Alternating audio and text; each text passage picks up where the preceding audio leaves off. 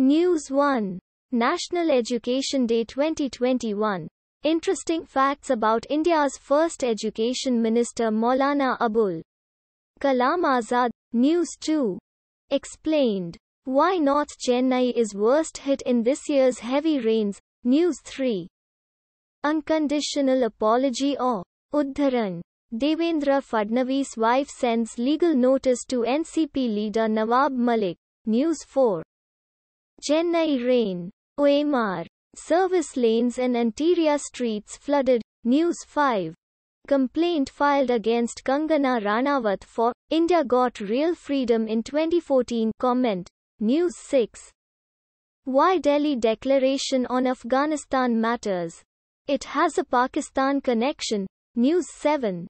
With eye on Uttar Pradesh elections. Amit Shah to visit Varanasi tomorrow. News 8. Congress's Salman Khurshid's Hindutva remark in book sparks controversy. News 9.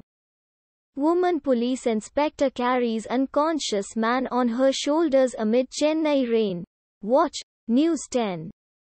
Chhath Puja 2021. India concludes festivities but Delhi sees Bengaluru of 2018. Courtesy Yamuna Froth, automatically generated.